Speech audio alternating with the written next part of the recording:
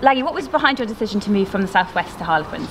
Um, I think for me, in terms of moving forward, um, is in terms of the support I needed and um, just the high class quality coaches that we have um, and how form, uh, family orientated it was down here at uh, the stoop and with the girls like that for me was a given um, obviously enjoyed my time down at Bristol and enjoyed the two seasons I had down there but for me moving forward um, I definitely saw something about Quins that I wanted to be a part of and haven't looked back since.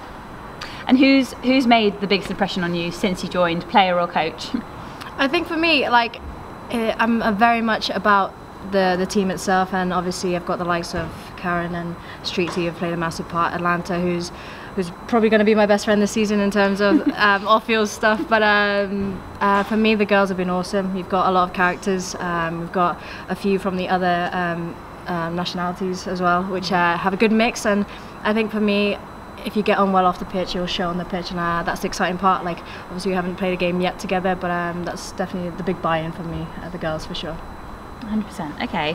And you're back to full fitness now. Yeah. What was it like and how difficult was it to be out injured? You didn't play a game for Bristol all last season Yeah. and you obviously missed England's Grand Slam campaign for the Six Nations. So it can't have been easy. But how did you find it? Oh, absolutely. I think um, as a sport itself, like you're bound to get these injuries, and more than anything, it's uh, it's challenging psychological, uh, psychologically as well as physically. But for me, it's it's important having a good circle around you, and I, I definitely had that down at Bristol and down at Exeter, which um, were the foundations for me getting to where I am this like to this day.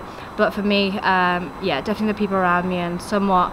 Um, just having the urge, to, the willingness to come back and play, and I think I speak on behalf of a lot of people. When you have injuries, you have the dark times, but the good times far, far like outweigh the good, uh, the bad times. Yeah. Yeah, absolutely. Okay. And you mentioned Exeter and Plymouth there where Yeah. you, you kind of grew up. Right, yeah. Well, how much of an impact did Jo Yapp have in your time at Exeter Uni uh, as, as, a, as a head coach of the uni and obviously during your, dur- during your England under 20 days? Yeah, so I've been playing yeah rugby for five years now, and she's definitely at the forefront of much of my achievement. Without her, I definitely wouldn't be where I am today.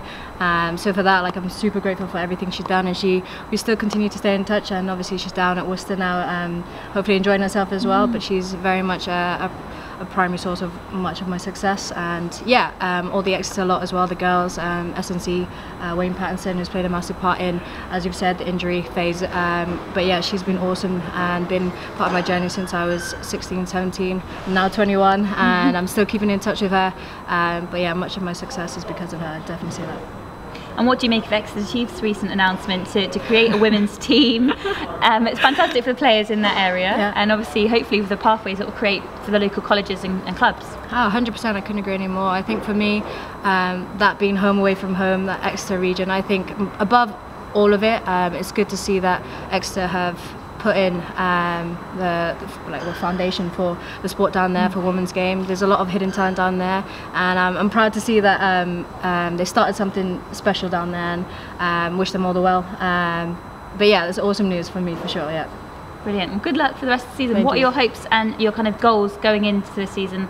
Obviously, hoping to stay fit and, and, and get out on the pitch for England. Um, for me, yeah, personally, um, in terms of club, we, we want to finish off on a, on a high, and, and we know that we, we know what we want. We want to, we know what we want to achieve.